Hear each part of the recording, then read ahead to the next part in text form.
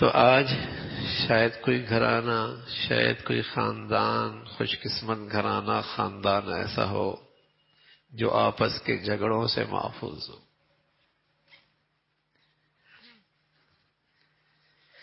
और ये आपस के झगड़ों की बुनियाद शरीयत को नजरअंदाज करना है। आमतौर पर जो खानदानी झगड़े हैं उसकी एक बड़ी वजह, शरीयत के इस हिदायत को नजरअंदाज करना है।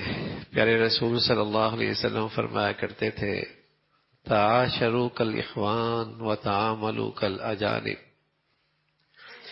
तुम आपस में रहो तो मोहब्बत और प्यार के साथ, भाइयों की तरह। प्यार और मोहब्बत के साथ भाइयों की तरह इकट्ठे रहो। लेकिन जब कोई मामला करने लगो, जब बात मामलात की आ जाए, कारोबार की आ जाए लेन देन की आ जाए, फिर तुम उसे ऐसा दस्तावेजी निज़ाम बना लो, उसे ऐसा लिख पढ़ लो, ऐसा एहतमाम कर लो, जैसे किसी अजनबी के साथ मामला कर रहे हो। कितनी बड़ी हिदायत है। होता क्या है? बेटा कारोबार में शरीक है। कुछ तय नहीं कि इस बेटे का बाप के साथ कारोबार में क्या हैसियत है। ये पार्टनर है, ये मुलाजिम है, कोई चीज़ तय नहीं। ज़िंदगी गुजर रही है, जो उसे ज़रूरत होती है वो उठा लेता है। अपनी ख्वाहिशात में उसमें से खर्च कर लेता है। सारा साल गुजर जाते हैं, दूसरा भाई भी उस कारोबार में आ जाता तीसरा भाई भी कारोबार में आ जाता है। इनकी शादियाँ हो जाती हैं। इनकी औलादे होने लगती हैं। बाप का इंतकाल हो चला, हो जाता है। अब झगड़े खड़े हो जाते हैं। एक कहता है, मैं तो चालीस साल से कारोबार में था। एक कहता है, मैं भी बीस साल से कारोबार में था। एक कहता है, मैं भी दस साल में था। अब झगड़े खड़े होते और ऐसे झगड़े खड़े होते हैं कि ये भाई जब इनसे कहा जाता, मिया, मामला तय कर लो तो कहते, भाइयों में क्या मामला तय होते? और आज एक दूसरे का चेहरा देखने के लिए तैयार नहीं। एक दूसरे का मुँह देखने के लिए तैयार नहीं है। क्या भाई, क्या बहन, क्या बाप, क्या बेटा? शरीयत को भूल गए ना। शरीयत के पैगाम को न देखा, न सुना, न सीखा, न पूछा कि इस मौके पे क्या करना चाहिए?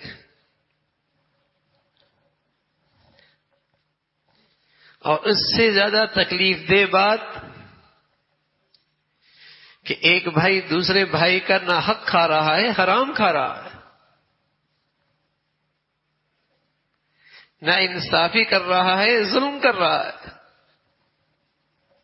नमाजें भी चल रही हैं, रोज़े भी चल रहे हैं, हज भी चल रहे हैं।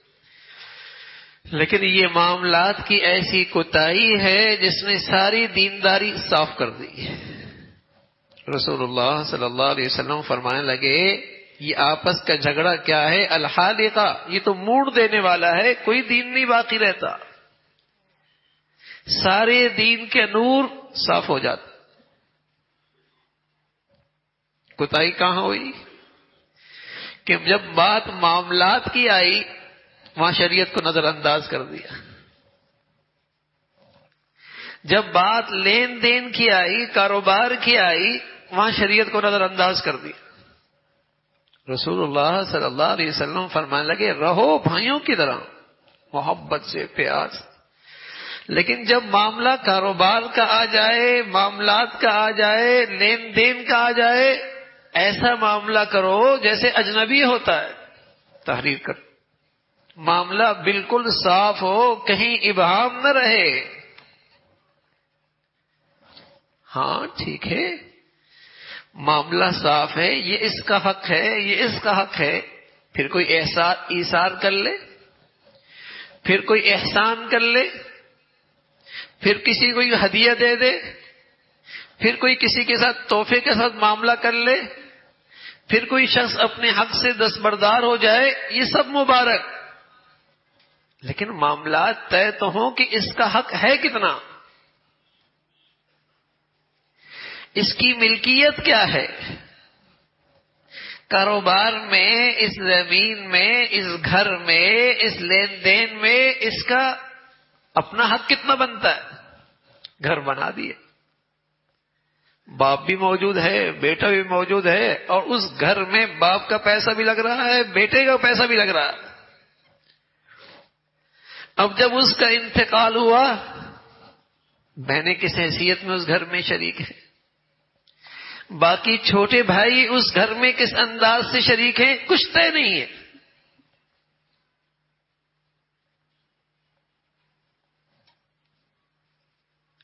सारी ज़िंदगी झगड़ों में गुजरती है फिर। बल्कि फिर नस्लें इस झगड़ों को भुगतती हैं। न सिर्फ़ झगड़े मेरे अजीजों, जुल्म हो रहा होता है। लुकमाए हलाल नहीं रहता। इंसाफ नहीं है लेन देन में। ये तय नहीं है कि इसकी मिल्कियत क्या है। रसूलुल्लाह सल्लल्लाहु अलैहि वसल्लम फरमाने लगे, हम तुम्हें बताएँ, ऐसा अमल जो नफली रोजों से बढ़िया, नफली नमाज़ से बढ़िया, नफली सदक़े से बढ़िया, या रसूलुल्लाह, फरमा, इसलाह आपस में दिल जुड़ी हुई हो। आपस में सिला सफ़ाई के साथ ज़िंदगी गुजर रही हो। वह फसाद बैन अलहालिका और आपस का झगड़ा ये तो दीन साफ़ कर देता है गिबत होती है, तनकीद होती है, तोहमतें लगती हैं, बदगुमानियाँ होती हैं। ये झगड़ा क्या है? ये गुनाहों की फैक्ट्री शुरू हो जाती है। कोताही कहाँ हुई? मामलात के सिलसिले में शरीयत को नजरअंदाज कर दिया। घर बन रहा था, मिल्कियत तय होती। इसमें कौन किस कदर जर्रे का शरीक है, किसकी कितनी मिल्कियत है? बाप का है, बेटा वैसे रह रहा। कारोबार वालिद का है, बेटा बतौरे मुलाजमत के है। तय हो। ठीक है, पहला बड़ा बेटा मुलाजमत के तौर पे आया, फिर छोटा बेटा आया, फिर उसके बाद छोटा आया, वालिद दुनिया से चले गए। शरीयत के मुताबिक सब में बराबर की तकसीम हो। जो पहले आया, उसने अपने हिस्से की तनख्वाह ली। लेकिन उसे मुलाजमत की हैसियत से तनख्वाह न देना।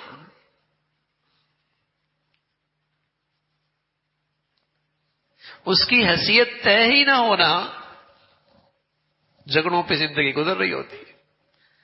मैं अर्ज़ कर रहा हूँ, मेरे अजीजों, पहले तो इब्तदा में कहते हैं, भाइयों में क्या लड़ाई, बहनों में क्या झगड़े, इन आपस में क्या मामला फिर एक वक्त आता है, एक दूसरे को देखने के लिए तैयार नहीं होता। हर खानदान का यही हाल एक बड़ी वजह हमारे घरों की, खानदानों की, झगड़ों की ये है। दूसरी वजह दूसरी वजह रसूलुल्लाह सल्लल्लाहु अलैहि वसल्लम ने फरमाया, जाने वाला जब चला जाए तो सबसे पहले जो काम करना है, इसकी विरासत तकसीम करो। विरासत तकसीम करो।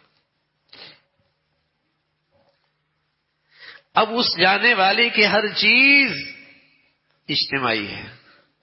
हर एक वारिस का उस पर हक है। अब तो किसी के लिए यह भी जायज़ नहीं है कि उस माल के बारे में ये फैसला कर दे कि इसको अल्लाह के रास्ते में दे दो। इसके लिए अब्बा के लिए सदका जारिया कर दो। उसको हक ही नहीं है। इस पर तो हर वारिस का हक है।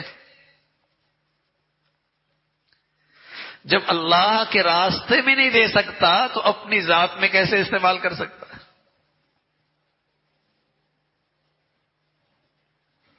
हलाल नहीं रहेगा इसके लिए। और इस विरासत की तकसीम में कोताही हो जाती है। जो चीज़ लाखों में होती है, वो करोड़ों को पहुँच जाती है। अब बताइए उसको तकसीम करना कितना मुश्किल होता है।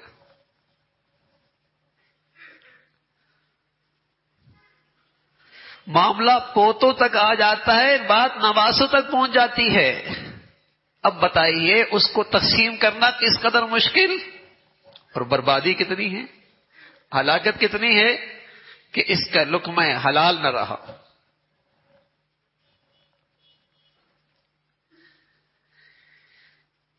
इसका लुकमा हलाल न रहा। कुताई कहाँ हुई? शरीयत को नजरअंदाज कर दिया। विरासत तकसीम नहीं हुई। और फिर जब कोई आदमी अपने हक के लिए खड़ा होता है, मेरे अजीजों, बताइए, वो हक लेने वाला ऐसा जैसे वो कर्जा मांग रहा हो। हक लेने वाला यूँ जैसे कोई कर्जा मांग रहा है। उसके साथ वो सलूक होता है।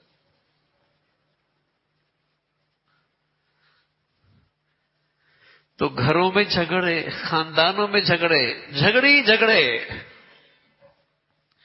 और उसकी नफूसत रसूलुल्लाह सल्लल्लाहु अलैहि वसल्लम ने फरमाया हाल का हाल का सारा दीन साफ़ हो जाता।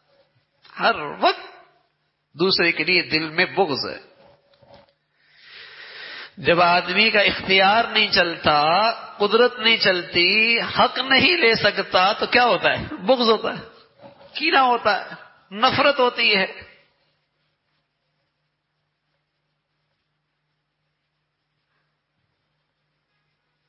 बदगुमानियाँ होती हैं, गीबतें होती हैं। तो बज़ाहिर इबादत हो रही होती हैं, लेकिन सारे मामला खराब हो गए। सारी इबादत भी जाया हो रही है।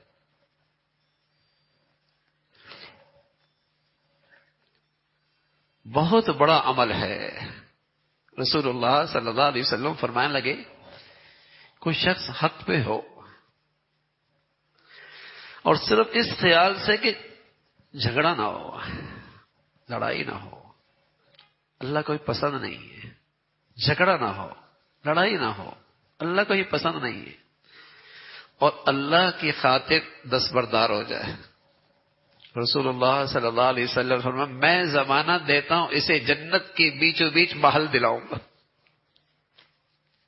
मैं जमानत देता हूँ। इसलिए कि ये झगड़ा खत्म करना चाहता है, दस्तबरदार हो रहा है।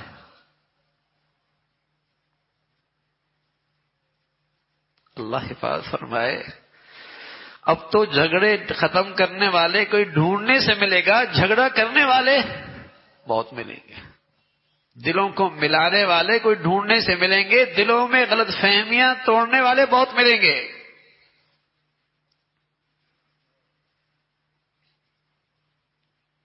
हज़रत अली हजवेरी रहमत के यहाँ एक शख्स आया, अपने देहात की कैंची लेके आया। कहा ये हमारे देहात की एक नायाब चीज़ चीज़ है, तोहफा है, कबूल फरमा लीजिए।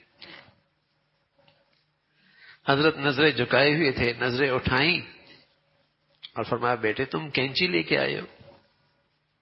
कैंची लेके हो? सुई लेके आते तो। इसलिए कि हमारा काम काटना नहीं है, हमारा काम तो जोड़ना है। अब तो तंज तनकीद जबान कैंची की तरह चलती है। कितने हैं जिनकी ये कोशिश होती है कि घर जुड़ जाए, खानदान जुड़ जाए, मुसलमान जुड़ जाए, उम्मत इकट्ठी हो जाए, ये फ़िक्र कितनों की है? हर जगह ही आग लगी हुई है।